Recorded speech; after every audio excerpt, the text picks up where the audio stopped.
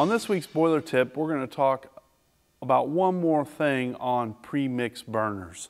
When we're running a pre-mix burner, we've got a fuel air mixture going into the inside of the burner and it's burning on the surface or just above the surface of the pre-mix burner. Now, the question that we had as a follow-up to that was uh, what keeps the flame from burning backwards through this and is there another flame arrestor in the system?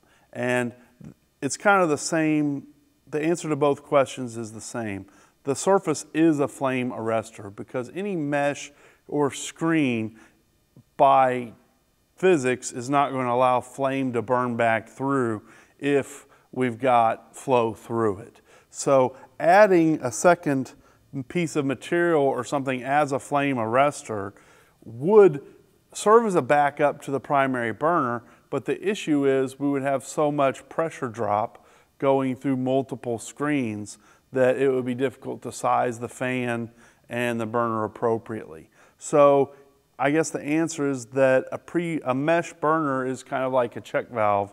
It, it does the job. If we add multiple check valves, we're probably going to cause more problems than we fix.